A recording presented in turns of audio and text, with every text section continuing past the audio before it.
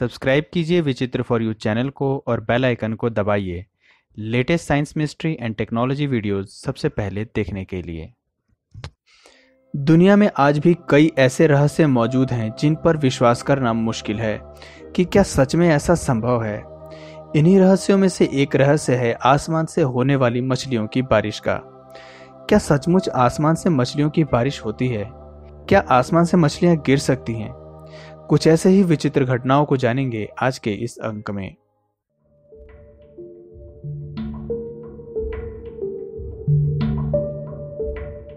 जी हाँ दोस्तों, यह बिल्कुल सच है कि आसमान से मछलियों की बारिश होती है। यह घटना एक बार नहीं, बल्कि कई बार हुई है और होती भी रहती है। जैसा कि हम जानते हैं, मछलियाँ पानी की बूंद तो है नहीं, जो आसमान से बारिश बनकर गिरेंगी। और इनका वाष्पीकरण होने का तो कोई सवाल ही नहीं है। फिर सवाल यह उठता है कि ऐसा क्या होता है कि पानी की मछली आकाश में पहुँच जाती है? यह सब जल स्तंभ या बवंडर जिसे हम इंग्लिश में टोर्नेडो भी कहते हैं, के कारण होता है। जब कोई बवंडर समुद्र तल या नदियों के पास आता है तो यह पानी के साथ साथ इसके आसपास या पानी के सतह पर मौजूद कीड़े मकोड़े छोटी मछलियों को खींच लेता है, जिससे वो जीव हवा के माध्यम से बादलों में ऊपर तक पहुँच जाते हैं। जैसा आपने अक्सर ज़मीन पर आने वाले बाउंडरों में हल्की चीज़ों को आकाश की तरफ़ जाते हुए देखा होगा। ठीक उसी प्रकार, ये बाउंडर पानी के सतह पर भी सक्रिय होता है और हल्के प्राणियों को ऊपर खींचता है। ये जीव हवा में तब तक रहते हैं जब तक हवा की गति धीमी नहीं हो जाती।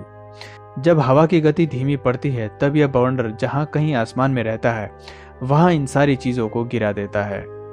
चूँकि बाउंडर के उठने और थमने में समय लगता है और इतने में कई किलोमीटर की दूरी भी तय कर चुका होता है। इसलिए यह स्पष्ट है कि बाउंडर जहाँ प्रारंभ करता है, वहाँ मछलियों की बारिश होने की संभावना कम होती है। लेकिन हाँ इसका समुद्र के आसपास होने की संभावना काफ़ी अधिक होती है। वैज्ञानिकों की माने तो हर साल लगभग 40 बार विश्व के अनेक जगहों पर ऐसी घटना देखने को मिलती है। दोस्तों, बहुत सारे जीव आसमान के नीचे गिरते हुए देखे गए हैं। इनमें मछलियाँ, कीड़े, घोंघे और केकड़े हैं। यहाँ तक कि सांप जैसे आकार के जीवों को भी आकाश से नीचे गिरते देखा गया है। हालाँकि यह बहुत कम होता है।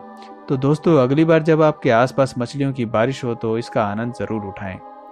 दोस्तों, आप इस रहस्यमय घटनाओं को कितना सत्य मानते हैं, मुझे कमेंट करके ज़रूर बताएँ। दोस्तों, अगर ये वीडियो आपको पसंद आया तो प्लीज़ इस वीडियो को लाइक करें और चैनल को सब्सक्राइब करना मत भूलना। आज के वीडियो में इतना ही। तब तक के लिए नमस्कार।